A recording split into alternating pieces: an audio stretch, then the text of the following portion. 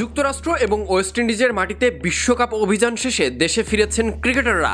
আফগানিস্তানের বিপক্ষে শেষ ম্যাচ খেলার একদিন পর দেশের উদ্দেশ্যে রওনা করেছিল তামিম রিয়াদরা। বিশ্বকাপে সাত ম্যাচে তিন জয়। ফলাফল বিবেচনায় একেবারেও মন্দ নয়। ব্যর্থতার গুণগান থাকলেও এই ফরম্যাটের বিশ্বকাপে এটাই বাংলাদেশের সর্বোচ্চ সাফল্য। এর আগে কখনো একবারে তিনটা ম্যাচ টাইগাররা জিততে পারে নাই।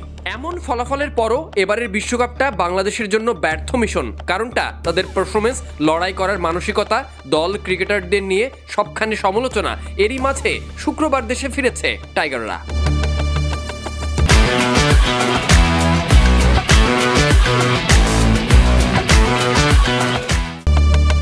সবচেয়ে বেশি সমালোচনা আফগানিস্তানের বিপক্ষে ম্যাচ নিয়ে। ভারতের বিপক্ষে অস্ট্রেলিয়া হেরে যাওয়ায় বাংলাদেশের সামনে সুযোগ আসে সেমিফাইনালে ওঠার। সেটা হেলাই ছাড়া এরপর আফগানদের বিপক্ষে সিরিজ খেলতে না চাওয়া আরও একবার বিতর্ক সৃষ্টি করেছে টাইগারদেরকে নিয়ে।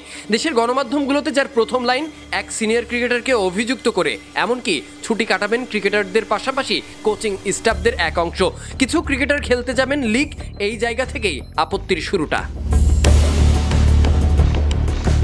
আপাতত তেমন কোনো ব্যস্ততা নেই বাংলাদেশ ক্রিকেট দলের। পঁচিশে জুলাই থেকে শুরু হওয়ার কথা ছিল আফগানিস্তান সিরিজ, তবে সেটা স্থগিত করা হয়েছে। আর সেটা স্থগিত করিয়েছে ক্রিকেটাররাই। গুঞ্জন আছে, নিজেদের সময় সুযোগ বাড়াতে ইন্ধন জুগিয়েছে কোচিং স্টাফরা, আর তাতে বোর্ডেরও নাকি সায় আছে।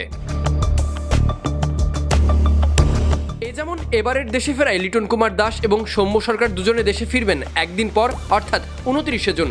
একই সাথে দেশে ফেরেননি কোচিং স্টাফদের কেউই। আগামী মাসের অর্ধেক সময় পার হলে দেখা যাবে বিদেশি অতিথিদের।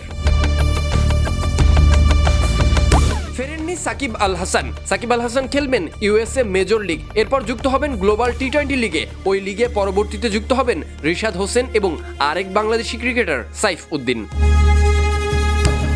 এছাড়া পহেলা জুলাই থেকে শুরু হচ্ছে লঙ্কা প্রিমিয়ার লিগ। যে কারণে তাওহিদ হৃদয়, মুস্তাফিজুর রহমান এবং তাসকিন আহমেদ সময় কাটাবেন দ্বীপরাষ্ট্রে জুলাইতে আফগানিস্তানের বিপক্ষে সিরিজ খেলার কথা ছিল বাংলাদেশের। সেই সিরিজে তিনটি ওয়ানডে এবং তিনটি টি টোয়েন্টি খেলতে অস্বীকৃতি জানিয়েছে শান্তরা। কারণ হিসেবে দেখানো হয়েছে ওয়ার্কলোড ম্যানেজমেন্ট। এরপরই যত সব আলোচনা, এক মাস পর গড়াতে যাওয়া সিরিজ নিয়ে ওয়ার্কলোডের ইস্যু দেখানো হয়েছে। সেখানে পাঁচ দিনের মাথায় গড়াতে যাওয়া লিগে ক্রিকেটাররা ঠিকই অংশগ্রহণ করবে। এবারের বিশ্বকাপে তিনটি ম্যাচ জিতেছে বাংলাদেশ। সমর্থকদের কাছে বাজে এই বিশ্বকাপ, ক্রিকেটারদের পারফরমেন্স নিয়ে আলোচনার শেষ নেই। এর মাঝে ক্রিকেটারদের এমন বিতর্কিত কর্মকাণ্ড সমর্থকদের করেছে হতাশ হতবাক, যা প্রশ্ন তুলেছে দেশের ক্রিকেটারদের দেশের প্রতি নিবেদন নিয়ে। Sadiq Ahmed, Sunny, BD cric time.